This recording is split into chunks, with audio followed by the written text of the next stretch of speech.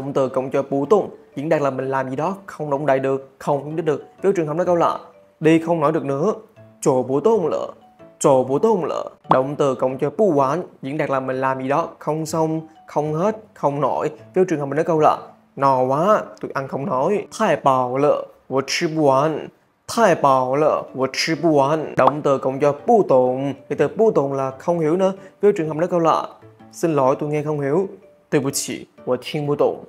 对不起我听不懂 động từ cộng cho bu yuan diễn đạt là cái gì đó không xa ví dụ trường hợp mình nói câu là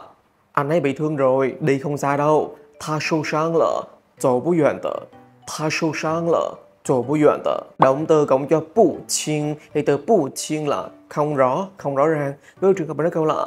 xa quá tôi nhìn không rõ 太远了我看不清 太远了我看不清 động từ cộng cho bu ổn thì từ bu ổn là không ổn không ổn định ví dụ trường hợp mình nói câu là cô ta đứng không vững 太站不稳太站不稳vậy còn câu cô ấy nghĩ không thông suốt thì tiếng Trung nói sao nhỉ nhớ comment bên dưới nhé bí kíp từ vựng tiếng Trung giúp mình chinh phục được đủ các ngành nghề từ du lịch,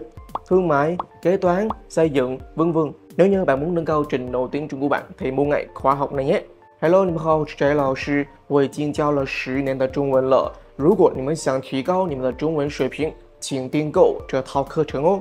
OK 啦，hiểu trước, đừng quên nhấp chuông đăng ký theo dõi Trà Lão Sư nha. 再见。